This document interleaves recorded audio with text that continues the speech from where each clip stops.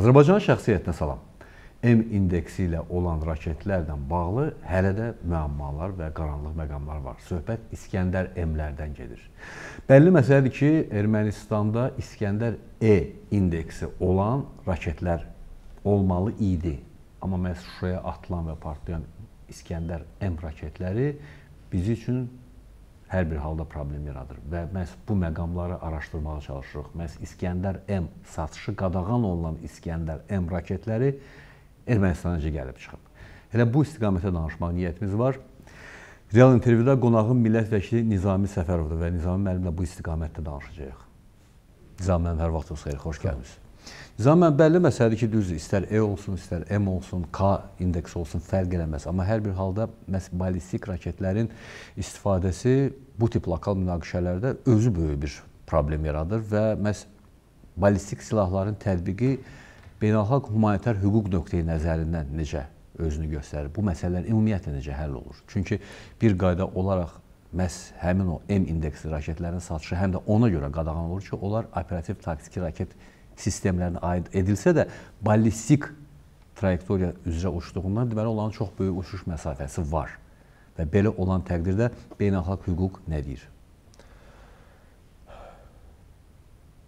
Azərbaycan Respublikası Mina Təmizləmə Agentliyinin əməkdaşlarının işğal olunmuş, işğaldan azad edilmiş Şuşa ətrafında İskəndər tipli ballistik raketlərin qalıqlarının tapılması əyani şəkildə yeni bir müharibə cinayətinə istinaddır. Burada mən bir haşiyə çıxmaq istərdim. Nəzərə almaq lazımdır ki, 44 günlük uğurlu Vətən müharibəsinin ilk günlərindən Azərbaycan Respublikasının prezidenti möhtərəm İlham Əliyev qeyd eləmişdir ki, Azərbaycan ordusunun həyata keçirdiyi bütün əməliyyatlar beynəlxalq hüquq normaları və prinsipləri çərçivəsində aparılır və biz 4 Cenevra konvensiyasının 12 avqust 49-cu ildə qəbul edilmiş və Cenevra hüququ deyilən bir hüququn təməlini təşkil edən 4 Cenevra konvensiyasının iştirakçısı olaraq bir mənalı şəkildə bu konvensiyalardan irəli gələn öhdəliklərimizə riayət edirik. Hı -hı. Azərbaycan ordusu bunu 44 gün ərzində nümayiş etdirdi.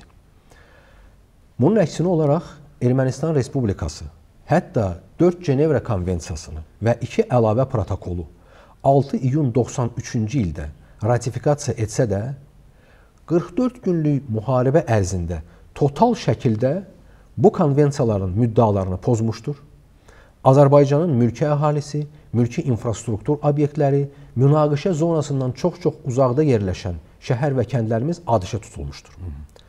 Konkret olaraq İskəndər tipli raketlərə qayıtdıqda nəzərə almaq lazımdır ki, beynəlxalq silahlı münaqişələrin qurbanlarının müdafiəsinə dair bir sayılı əlavə protokolun 51-ci maddəsinin 2-ci hissəsinə əsasən mülki əhali və ayrı-ayrı mülki şəxslər hücum obyekti ola bilməz. Həmin protokolun 85-ci maddəsinin ikinci hissəsində mülki əhalinin və ayrı-ayrı mülki şəxslərin hücum obyektinə çevrilməsi qəti qadağan edilir və müharibə cinayəti kimi tövsif edilir.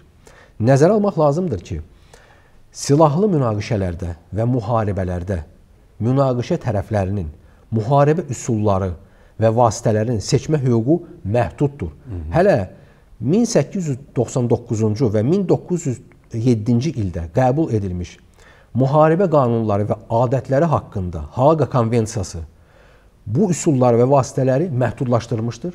Sonradan beynəlxalq humanitar hüquqda və məxsusi olaraq Cenevra konvensiyalarına bir saylı əlavə protokolda beynəlxalq humanitar hüququn iki mühüm prinsipi mütənasiblik və hədəfləri fərqləndirmə prinsipləri öz əksini tapıb İlk növbədə qeyd eləmək lazımdır ki, müharibə dövründə və silahlı münaqişə dövründə mülki əhali ilə legitim hərbi hədəflər fərqləndirilməlidir. Əgər biz bu məsələdə yenə də İskəndər tipli raketin tətbiqinə dönsək, nəzərə almaq lazımdır ki, ballistik trayektoriya ilə uçan, özündə partlayıcı vasitələri daşıyan və çox böyük məhvedici radiusa malik olan bu cür ballistik raket hədəfləri fərqləndirmə imkanına malik deyil. Bu o deməkdir ki, hətta hərbi hədəflərə qarşı tətbiq edilən bu cür raketlər hansısa bir e, e, yerdə, hansısa bir e, əhalinin məskunlaşdığı yerdə partladıqda şübhəsiz ki, bu halda mülki əhali arasında kütləvi şəkildə insanların məhv olunması təhlükəsi var. Nəinki insanların, həmçinin mülki infrastruktur obyektlərində məhv edilməsi təhlükəsi mövcuddur. Bu norma beynəlxalq adət hüququnun bir normasıdır və dövlətlərin təcrübəsində məhz beynəlxalq adət hüququnun norması kimi qəbul edilir. Bu nə deməkdir? Hətta hansısa bir dövlət Cenevra konvensiyalarının iştirakçısı olmasa belə həmin normaya riayət etməlidir. Yəni hədəfi fərqləndirə bilmək imkanına malik olmayan silahların tətbiqi qəti qadağandır və bu cür silahların tətbiqi, bu cür raketlərin tətbiqi özündə müharibə cinayətini etibar edir. Beynəlxalq humanitar hüququn digər bir mühüm prinsipi bu mütənasiblik prinsipidir. Yəni hətta siz hərbi hədəflərə belə zərbə endirirsinizsə, onun gözlənilən üstünlüyünlə vurduğu zərər mütənasib olmalıdır. Yəni ballistik raketlərin bu prinsipə riayət etməməsi açıq-aydın görünür.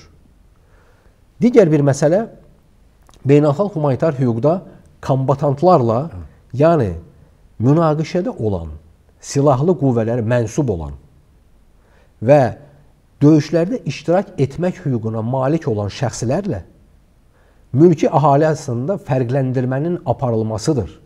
Şübhəsiz ki, böyük məhvedici qüvvəyə malik olan, ciddi partlayıcı vasitələr toplusunu özündə daşıyan İskəndər tipli taktiki raket kompleksləri bu imkana malik deyil və hər bir halda bunların tətbiqi məhz müharibə cinayəti kimi qiymətləndirilir. Bunu sübut etmək üçün 2-ci Dünya müharibəsindən sonra beynəlxalq cinayət hüququnun məntiqi inkişafı kimi qiymətləndirilən 1998-ci il iyun ayında Roma diplomatik konfransında qəbul edilmiş Beynəlxalq Cinayət Məhkəməsinin statutu nümunə kimi gətirilə bilər. Hə. Həmin məhkəmənin statutunun, yəni nizamnaməsinin 8-ci maddəsində qeyd etdiyim iki prinsip. Bu prinsiplərin gözlənilməməsi, bu prinsiplərə riayət olunmaması Bu iki prinsipin mütənasiblik, bir də hədəflərin fərqləndirilməsi prinsiplərinin pozulması birbaşa olaraq e, müharibə cinayəti kimi qiymətləndirilir və bu cür cinayəti törədən şəxslər istər milli səviyyədə, istər beynəlxalq səviyyədə cinayət məsuliyyətinə cəlb edilə bilərlər. Bu məsələdə beynəlxalq humanitar hüququn və beynəlxalq cinayət hüququn bir mənalı yanaşması var. Bu cür raketlərin tətbiqi müharibə cinayətidir.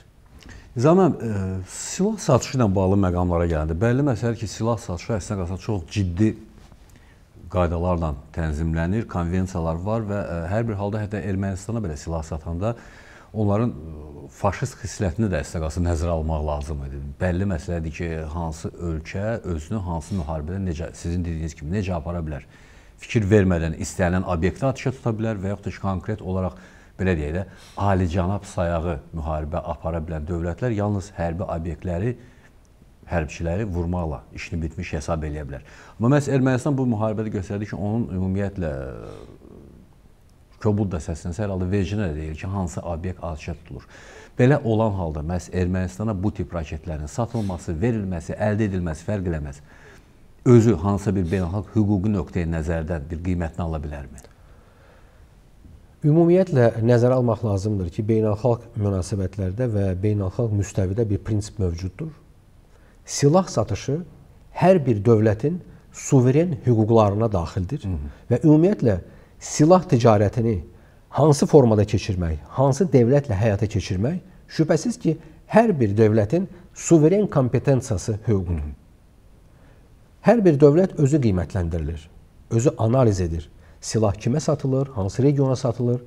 Ancaq nəzərə almaq lazımdır ki, ümumiyyətlə silah ticarəti həm siyasi, həm hüquqi, həm beynəlxalq humanitar hüquq nöqteyi nəzərindən, münaqişələr hüququ nəzərindən qiymətləndirilən bir məsələdir.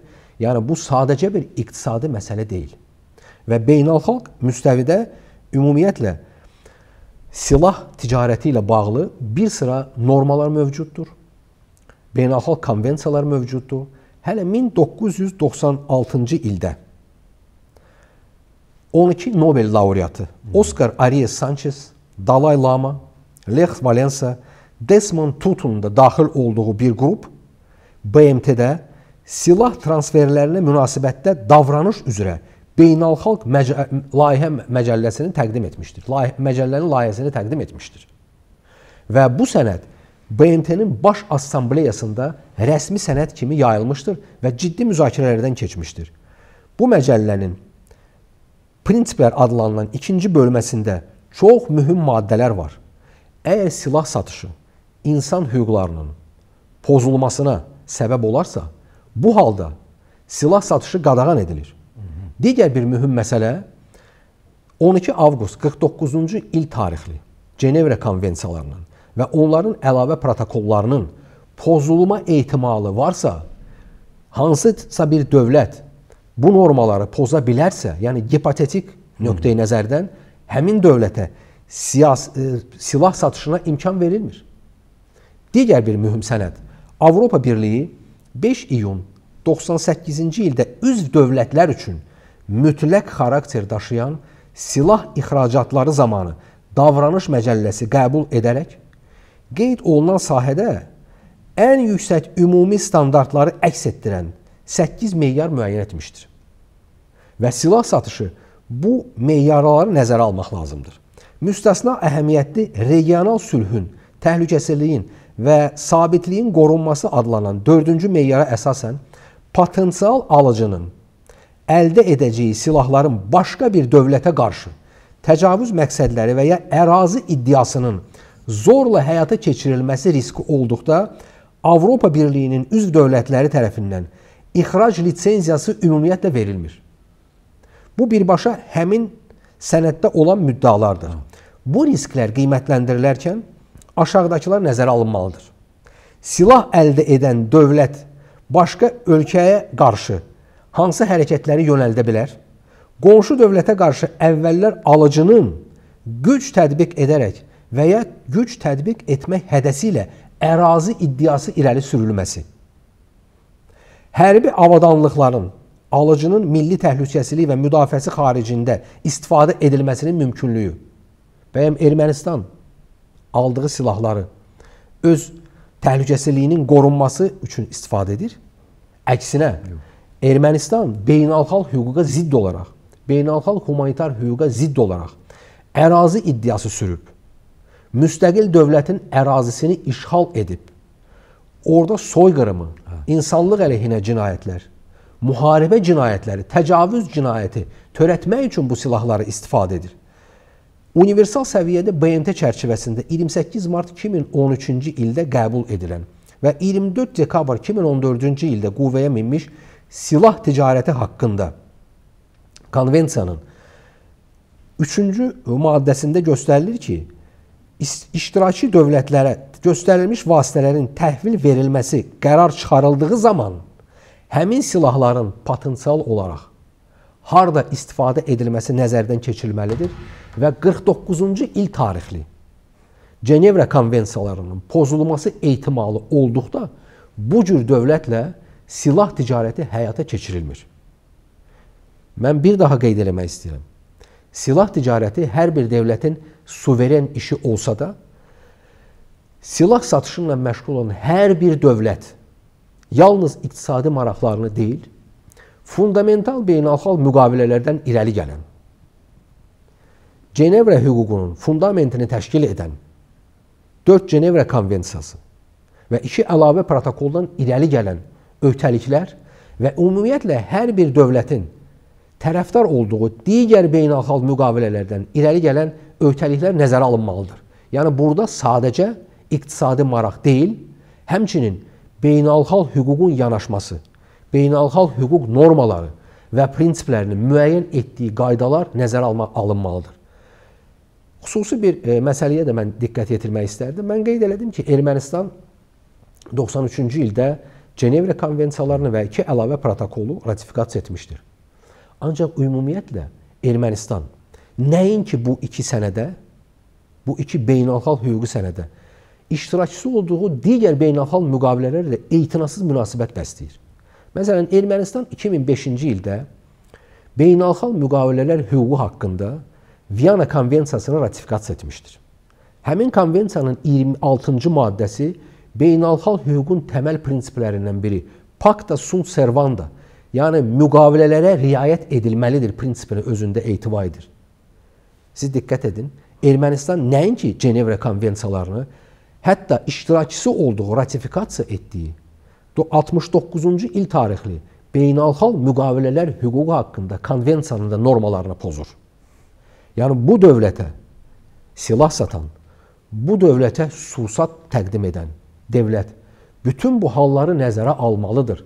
Çünki Ermənistan ümumiyyətlə 44 günlük müharibə ərzində qeyd etdiyim sənədlər bir yana, həmçinin qadağan olunmuş silahların istifadə ilə silsilə müharibə cinayətləri törədib və 2008-ci ildə Dublində konvensiya qəbul edilib bu klaster kaset sursatları haqqında. Kimsə söyləyə bilər ki, Ermənistan bu konvensiyanın iştirakçısı deyil.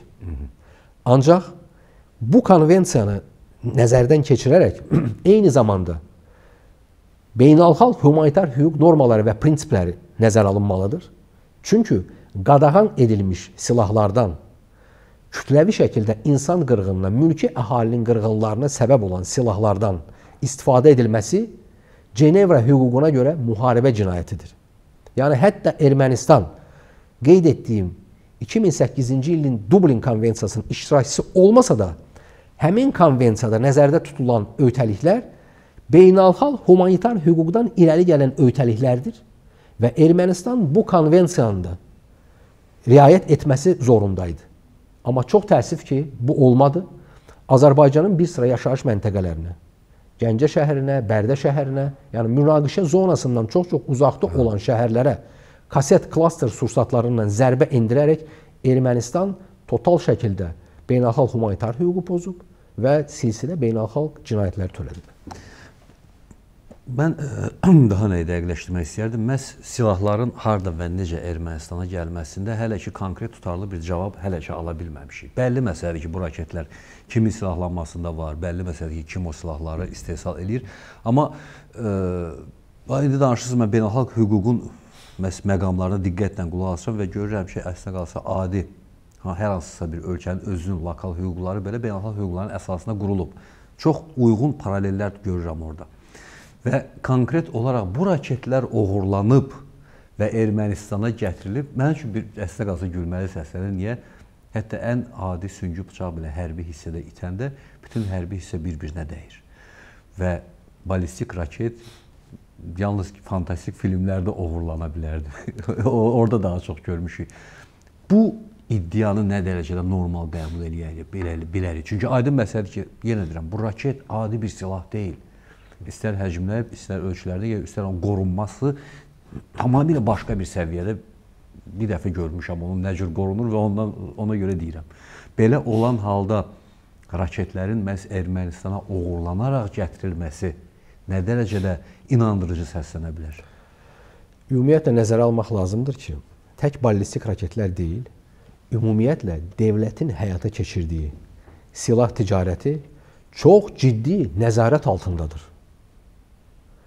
Yəni hansısa bir hətta mərminin sərhəddən çıxarılması bu qeyri-mümkün olan bir şeydir. Ona görə bu məsələdə əlbəttə ki biz e, gözləyirik ki konkret olaraq bu silahların hardan gətirilməsi, necə gətirilməsi və onların Ermənistan tərəfindən niyə tətbiq edilməsi, Hı -hı. nə cür tətbiq edilməsi tək bu silahlar deyil, tək ballistik raketlər deyil. Ha. Ümumiyyətlə 44 günlük müharibə ərzində müxtəlif nöqtələrdən, müxtəlif dövlətlərdən Ermənistana silah daşınması. Bu bir sıra məqamlarında əlbəttə ki, özündə müəyyən beynəlxalq hüquq pozuntularını etibar edir və biz gözləyirik ki, bütün bu məsələlərə ciddi şəkildə aydınlıq gətirəcək. Minnətdaram sizə mənim. Çox sağ olun. Uğurlar. Siz sağ olun. Bəli, e, Suallarımız var. Sualları lazım olan instansiyalara çatdırmışıq və məhz bu ilə də bağlı konkret, tutarlı cavablar gözləyirik.